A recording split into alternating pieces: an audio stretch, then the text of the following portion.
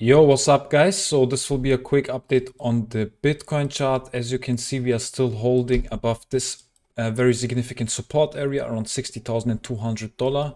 And I was mentioning in my last video where I covered Bitcoin, I was uh, telling you guys that we have to hold this support area right now around $60,150 guys, because as you can see from the past price action, you can see right here that this is a very significant support for Bitcoin. And I think if we are falling down below it, then we will see definitely a very bearish scenario for Bitcoin eventually. So um, if you take a look what basically happened right here, guys, um, you can see that all these breakout chasers who've been chasing this all-time high for Bitcoin right now, around 66, $67,000 are currently stuck right here at this all-time high. And they are just waiting to be able to sell their position right here at this resistance. And you can see that we are currently down about, um, yeah, 10 to 11% right now from this top in about two or three days.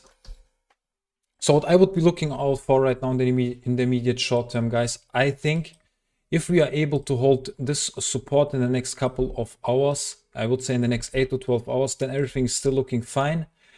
And otherwise, if we start closing some candles in this area right here, somewhere around 58,500 to about $59,200, somewhere in this area right here, I think a lot of retail traders who are currently stuck right here in this area with the over leveraged long position, I think a lot of them have their stop losses right here, somewhere around 56 to about 59,000.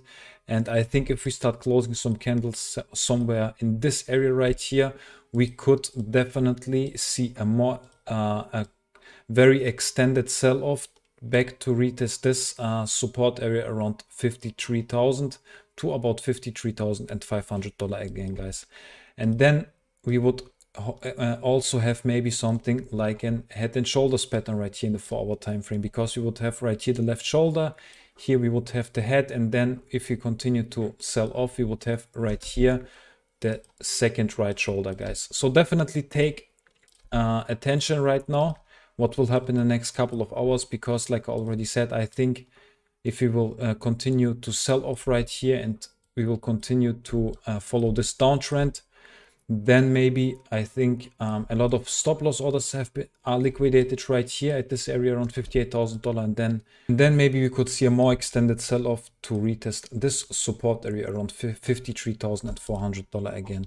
And I think even if you will retest the support area around $53,400 again, guys, everything is still looking fine in my opinion for Bitcoin as long as we are not taking out this most significant support around $53,000, guys.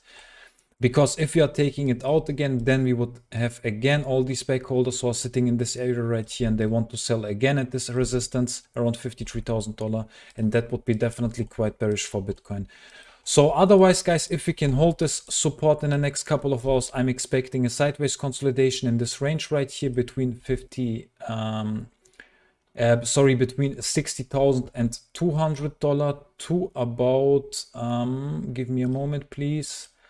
So yeah, 60,200 to about $63,500, guys. I think we will see most likely a sideways consolidation in this range right here, maybe in the next couple of days. And then we will have to make a decision uh, if we will see a breakout to the downside or a breakout to the upside, guys. I think if we can take out this resistance around $63,500 successfully and we can close uh, some candles above this resistance right here, somewhere around $64,000, then I think we should definitely see a confirmed breakout through this all-time high and then we should approach to about $100,000 uh, in about, I would say, two and a half months, guys. So yeah, I'm still definitely very bullish on Bitcoin. I think, like I already said, as long as we are not taking out this most significant support around $53,000, everything's still looking fine.